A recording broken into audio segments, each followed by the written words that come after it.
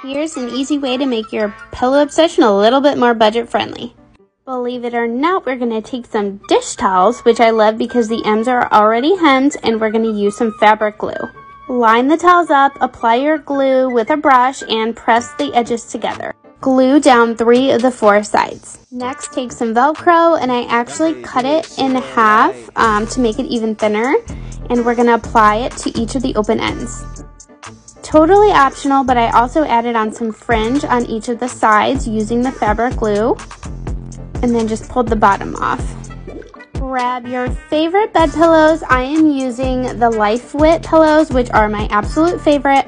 And we're just gonna put them right inside the pillowcases and Velcro them closed. I'm not a sewer, so I love that I can make these no-sew. And best of all, I can take the pillows out and throw them in the wash machine. Please give a follow for more DIY.